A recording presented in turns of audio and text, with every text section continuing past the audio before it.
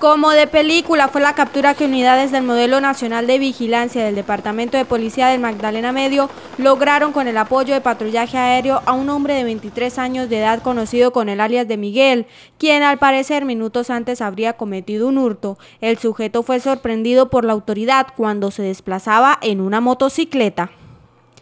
La Policía Nacional, a través de las unidades del Modelo Nacional de Vigilancia Comunitaria por Cuadrantes, con apoyo de la aviación policial, en el barrio 9 de abril lograron la captura en flagrancia de Miguel, un sujeto de 23 años de edad, quien minutos antes habría cometido un hurto. Este sujeto fue sorprendido cuando se movilizaba en una motocicleta en compañía de otro cómplice.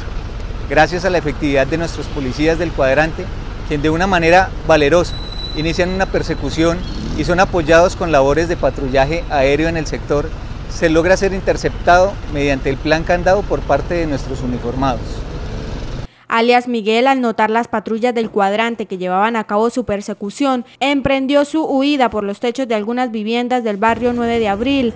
Ante esto fue necesaria la vigilancia aérea con la que se le hizo seguimiento constante hasta lograr su captura.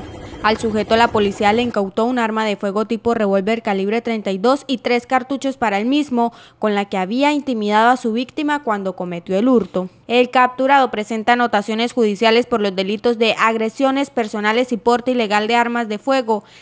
Asimismo, se logra la incautación de un arma de fuego tipo revólver, calibre 32 y tres cartuchos para el mismo. Cabe anotar que este sujeto presenta anotaciones por el delito de porte ilegal de armas de fuego y lesiones personales. El capturado fue dejado a disposición de la Fiscalía y donde un juez de la República definirá su situación judicial. Asimismo, se invita a la comunidad en general para que brinde información oportuna que permita la captura de personas dedicadas a la comisión de actividades delictivas, comunicándose a la línea 123 y a los diferentes números del cuadrante. Se conoció que alias Miguel 20 días antes había sido capturado y dejado en libertad. El hombre fue dejado a disposición de la Fiscalía General de la Nación, donde un juez de la República de Colombia le definirá su situación judicial.